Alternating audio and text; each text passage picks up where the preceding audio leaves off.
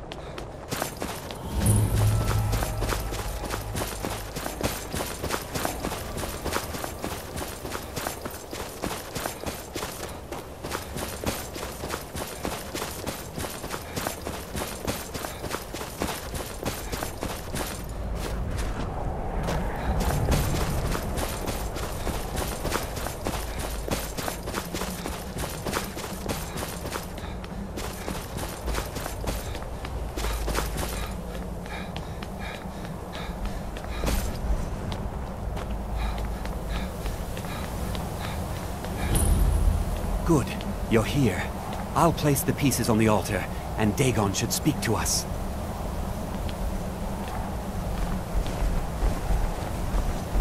Huh? I knew it!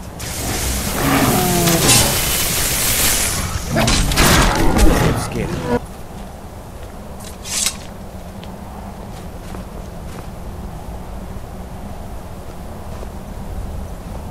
Mehrunes Dagon, the Lord of Change. We have brought your razor to you.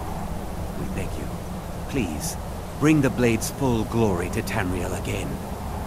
It's not working. Why don't you give it a try? Just You- put your hands on the altar. Mortal, you are worthy of speaking to. You have claimed the pieces of my razor. It has been an amusing game to witness. Dagon does not declare a winner while there is a pawn on the board. Kill Silas. He and his family have served their purpose. Kill him. Take your rightful place as my champion, or I will crush you. Fine. I'm not dying without a fight.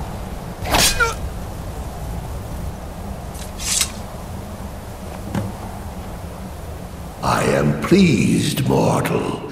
I will give you my razor. Use it to wreak havoc on Tamriel.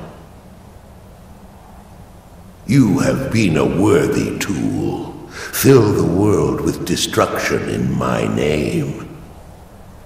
Place your hands on my altar one last time, and you will witness the power of Mehrunes Dagon for yourself.